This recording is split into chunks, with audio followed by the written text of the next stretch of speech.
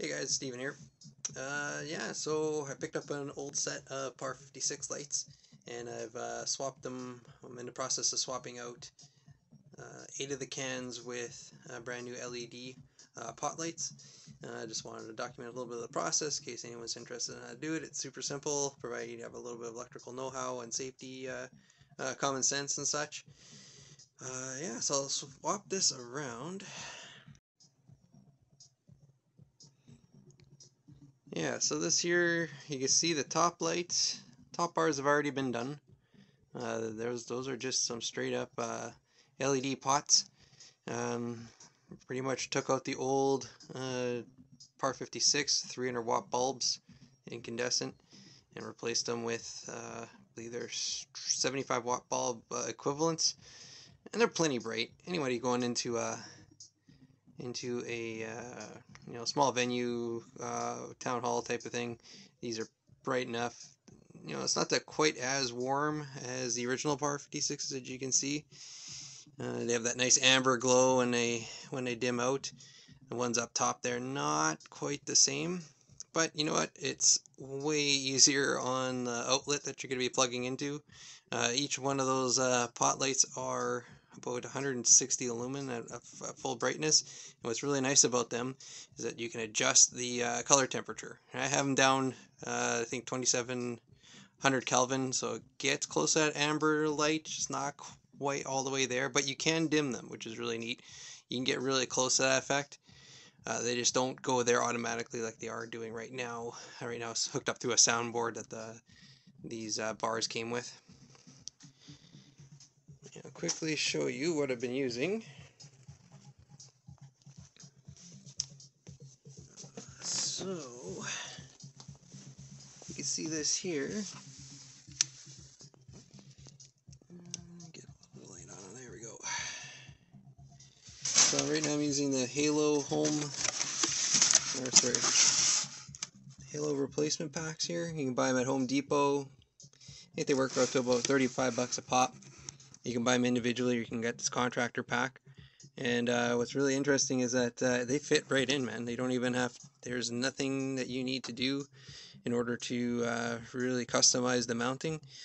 The only thing I've done is uh, I cut out the, yeah, cut out the PAR and their lighting. I take, take it out that 300 watt bulb. Uh, let's see if I can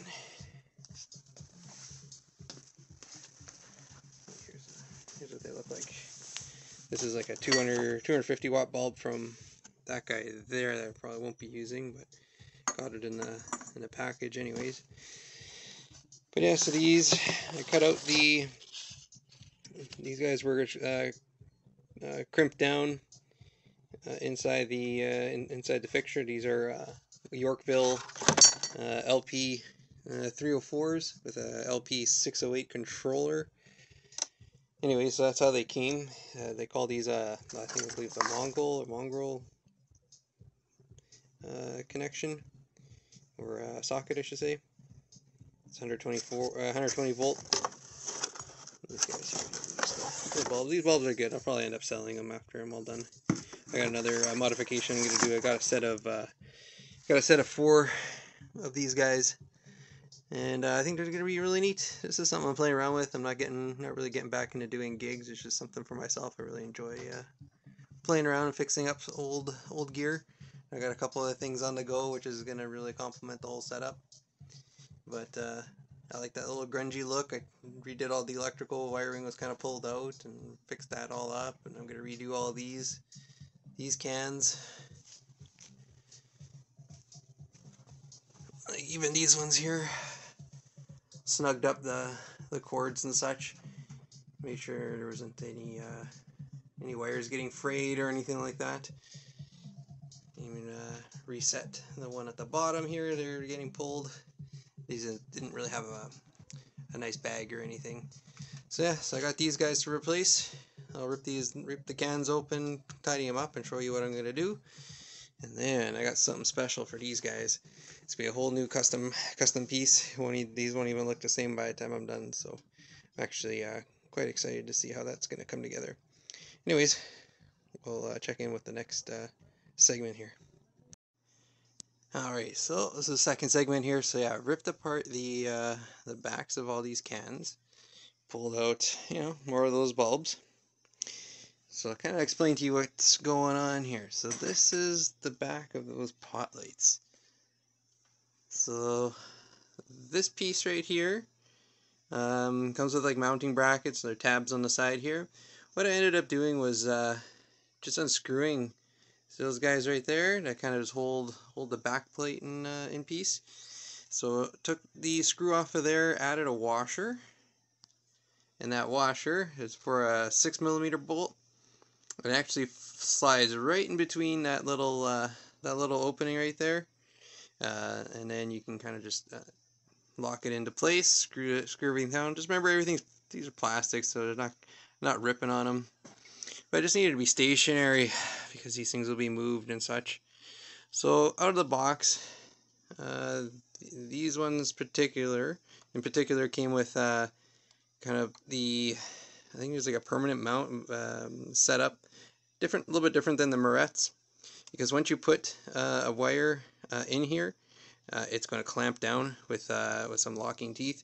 Not a big important detail, but you're supposed to use uh, it's supposed to be meant for like you know doing pot lights in the ceiling where you have a, a, a solid core copper wire to push in won't work with uh, stranded stuff uh, you can kind of see it here they've actually had to solder their own wires to create a solid core to push into these connectors so the back here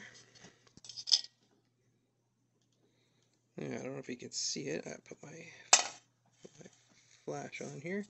Alright, there we go. So I had to do the same thing. So what I ended up doing was pull the that old wiring out from the uh, back of the lights. And just put some solder on it on the tips. Just use the lighter.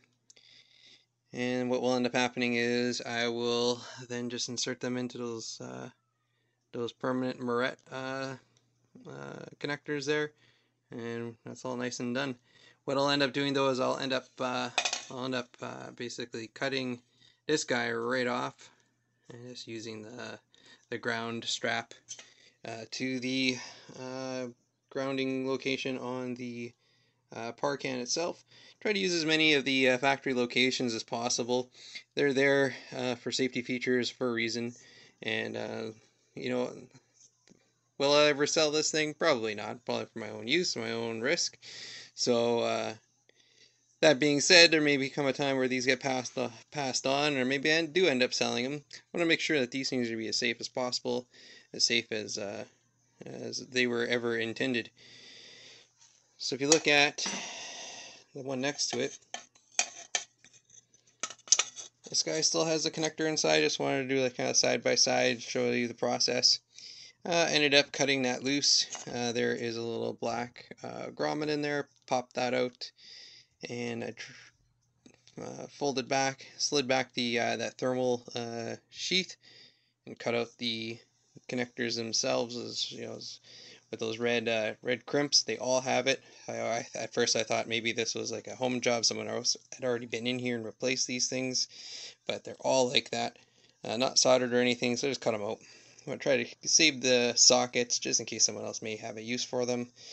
Uh, I'll never, I'll probably never put these back to uh, the original PAR 56s, but uh, you know, you never know, someone might have a use for it. But yeah, so I guess to show you a little bit closer how we mounted this. So these little pot lights actually have little tabs. They're supposed to tuck into your ceiling uh, and, and, suck the PAR uh, can up and nice and flush to your drywall as there's usually a little cavity all you would do these are the slim fitting things uh, you would cut a hole in your uh, in your drywall pop these guys up and in and you're done no need for a can or anything these are supposed to be direct replacements for that um, well, what ends up happening though is if you just keep them folded forward uh, they actually snug right against the securing ring right in between it this one, yeah, they make a really nice solid connection. These are nice and tight. They're not going to go anywhere. Man, I'm, I'm, I'm super stoked on how this all uh, turned out. Think I might actually put those these little tabs on the outside of the ring. I think that's how I have it on the on uh, those guys up there. And uh, just to make a nice secure connection, uh, make sure everything's nice and snug. It makes it a nice uh, a nice little system that now you can port you can port around, not have to worry about things falling out of place. The uh, yeah, it's just the, the change in wattage. Like, and here's a crazy thing too. Uh, probably hasn't been done to a great extent yet because uh, technology and uh, LEDs uh, that you try to dim, if you don't have the right dimmer, they'll end up flickering, acting really goofy. But in uh, 2022, these actually came out in uh, 2021, I believe. These things are meant, they're meant to work with any type of dimmer. Uh, so they have like their built-in everything the circuitry is all built into these boxes. Uh, it's meant to handle the the drop in voltage for whatever type of dimmer switch you have. They're supposed to be universal and not have to you shouldn't have to worry too much about uh, worrying if this will dim or not. They work. They work just fine. Uh, I think that's probably what maybe some people may have been you may have been eyeballing these before and you're thinking well they don't work. The, the dimming I had to buy a special dimmer for these things and that was the past. These things work just fine right now. And uh, like I, I don't think I mentioned before these are the six inch um, pot light replacements. You can get four inch or six inch. These six inch ones are perfect for these uh, for my application anyways. I don't know what kind of uh, par 56s you guys may have. May have like a, a different mounting how whatever might the case may be but uh, these fit just perfect in mine. Uh, I'm sure they would fit perfectly in in uh, whatever you may have. You may have to make a small bracket adjustment or get a little creative on it but really that's all it that's all it is. I take out the bulbs put these guys in mount that uh, mount the box to the back of the par now and uh, the case goes uh, over top with plenty of room and they light up just fine and uh, as I was mentioning before they do have uh, different uh, different color temperatures. So like I said I, I, I put them down to 2700 like I said it's just not it gets amber it's not quite that amber not as much as I'd like it to be. But you know, these things have uh, brackets for gels, so I can just get an amber gel if I really wanted to, and just leave it if I really needed that amber light. Um, but yeah, if you want that bright white, let's say if you're gonna repurpose your pars, maybe for like a shop light or something, something that you need, um, maybe to do your own projects and such. These this focused light would be perfect if you had a, I say turn it up to the 5000K, that that bright white. Um, would be just just minty and yeah it's just a flip of a switch. All I have to do is open up this can and I can switch them if I needed to. I'm probably always going to leave it on that 2700 for this purpose for just uh, some fun little stage lighting.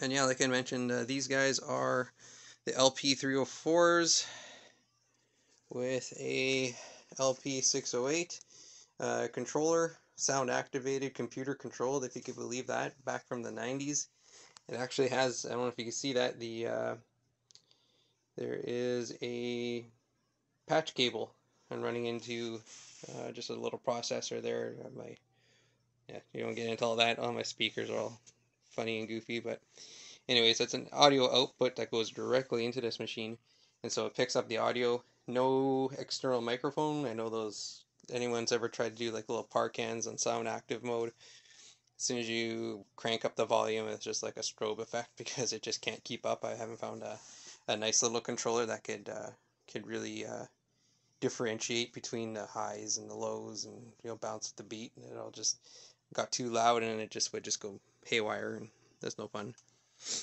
But anyways, I bought this little setup. Like I said, I got four of these uh, bars and so the other two are to be a different project. I'll show you later. But uh, yeah, so one of the things to also look out for because, well, with myself anyways, because this is a used unit, I got these uh, for dirt cheap. And there's a reason these they're, they're questionable if they were going to work, number one. Number two, just looking at them, you knew they weren't going to be safe to operate at uh, at any kind of uh, serious capacity. So it's stuff like that. It's really simple to fix. Uh, as long as the wires aren't cracked and frayed, I'll take a good look at it when I get into it. But uh, all you do is you're just unscrewing this, this that little black cap, making sure everything's nice and tight again. Tighten up that, that little uh, grommet connector. Might have to flatten out some metal if I have to. But I'll end up uh, just pushing that wire back in, getting it past the point where it's uh, already cracked off. Have it seat a little bit further up around here. And now it's a nice safe unit to use again. And if you look in here, yeah, you can see where that thermal sheet is. I ended up taking out that little black clip. Uh, just trying to, I'm, you can, I'm doing a little extra because I think maybe some some people may have some interest in these connectors and the PARs if they really, really want to retro do something else with them or they need their own replacements and they want to keep this warm stage lighting. Um, but if you're just doing it yourself and you don't care about that stuff, I'll just, just chop it right off right there. No problem. You don't have to go the extra mile. Like, yeah, you just you cut it. You can cut it right here. You don't have, if you're not uh, too worried about uh, saving any of that stuff. Make it make the job a little quicker. I'm taking my time because I've got it, I guess. And uh, yeah, well, that's uh, that's really all there is to it. Nice and simple. Uh, like I said, thirty-five dollars a pop. And those lights, they uh, they're they're fantastic. This is the front of them. Nice and simple. Like I said, they're six inch, uh, six inch wide uh, pots, pot replacements, and uh, 120 volt work just fine. I don't know uh, where you might be viewing this, but uh, I'm sure you you can probably figure out the the 240 volt if you're in Europe or you know, uh, South America and things like that, where the, the voltage may be different. But uh, you should be able to find them pretty easy just make sure they're dimmable. They're like I said, the new technology that's out there. These things. This is the Halo version. I think I've seen Globe. Uh, also has another set quite similar. I, I trial and errored these things too before I ended up buying the whole kit. I bought one at a time, plugged one in, made sure it worked, and uh, before I went went ahead and and uh, bought the whole thing and uh, tested it. It worked just fine. These things are. It's gonna be a little game changer. I say make make the old look new, and you're laughing. You know, you, these things aren't to go to the scrap heap. Not to sit in somebody's basement and just collect dust anymore. You know, might I'll actually get a little bit of use out of them. Gonna do a little, couple block parties here at home, and uh, these will be just fine, and they'll light up the street, and I won't have any any real issues. Like it's we'll probably only go till about ten o'clock at night.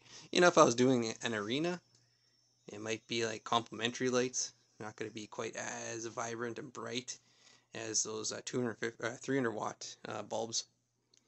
But you know what? There's uh, they're way better on uh, way better on the whole power consumption, and uh, yeah, your circuits are gonna gonna love you for it.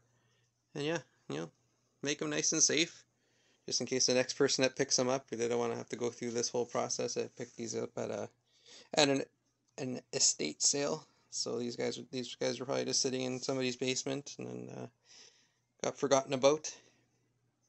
I'm sure if they were out on the on the stage and being gigged again, I'm sure they would have been uh, cleaned up and, and, made safe. But uh, that's it for now. All right, guys. Hope you enjoy. Hope you liked it.